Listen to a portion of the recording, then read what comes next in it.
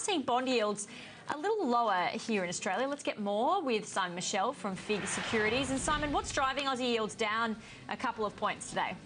Good afternoon, Ingrid. Yeah, absolutely. Look, it's still very much that lower inflation, and uh, especially along the longer end of the yield curves, adjusting to those much lower uh, levels. And uh, we're seeing the Aussie 10 year, for example, at 228. That's pretty much the historic low for the Aussie 10 year.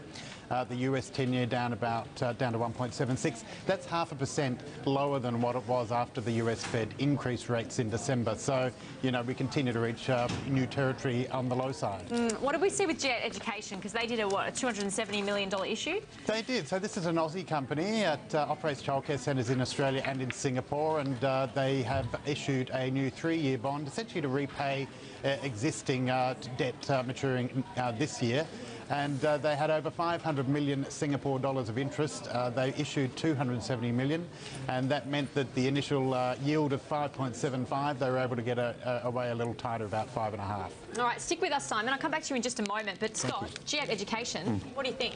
Yeah, we really like the company. It's, it's a it's a difficult structure. They're, they're borrowing in Singapore in a mixed currency basket to pay for Australian childcare centres, basically because the Australian market, the Australian debt market isn't big enough to, to lend them as much as they want. They can't go to the banks right now so they're effectively forced to go to Singapore. It's not a terrible thing, by the way, but it just adds a bit of complexity and a little bit of currency risk. They're effectively paying up to hedge that risk away where they could otherwise get it in Australian dollars here at home.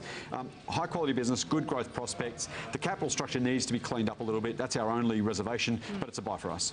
David? Um, I'm a slightly different view of this one. I, I, would be taking some money off the table if you got in, especially if you got in in the mid-February period. Um, I think it's a good profit-taking opportunity and buy back on any pullback. So um, a little bit of, um, looks like a little bit of profit taking up here at the moment. Okay, back to you, Simon. Just want to ask you about uh, the lower yields globally, which we've been seeing. Better for corporate issuers, though, isn't it? Well, it is, Ingrid, absolutely. I mean, as the uh, return you get on sovereign debt lowers, uh, investors need to look at uh, other alternatives to lock in a bit more of a higher yield. And so a really good environment for corporates to issue at the moment, historically low rates, great demand for yield. We've seen that reflected in uh, yesterday in the US, their second highest issuance volume at $25 billion. Wow, okay, Simon Michelle, appreciate those insights into the bond market. Thank you. Thanks, Ingrid. So just more broadly,